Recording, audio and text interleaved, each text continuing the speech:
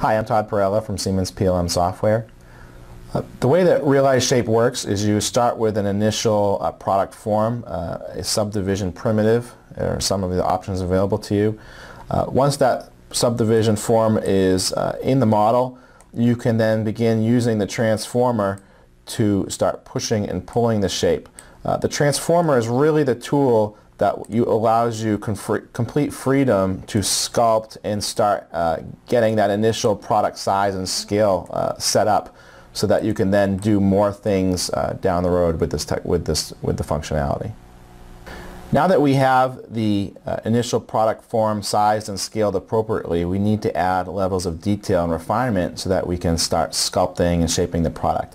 One thing you may want to do is apply a symmetric modeling constraint, where often products are, are built symmetrically uh, around a center line. You also uh, will likely need to add levels of detail into the model, and we do this by splitting and subdividing faces uh, of the, of the subdivision body. Now the value of this is that it gives you the, the refinement and the level of detail that you need to further sculpt and refine this product shape. You can see here um, that as subdivision modeling toolset, it allows you to evolve this form in a much more free-form manner than you would ever be able to do using traditional surface modeling techniques.